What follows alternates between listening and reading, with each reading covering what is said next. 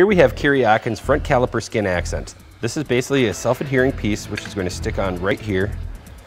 I've already cleaned and prepped the surface, so all we need to do is activate the adhesive, peel, and stick. And that's it, that's all it takes. Now that'll really dress up that caliper.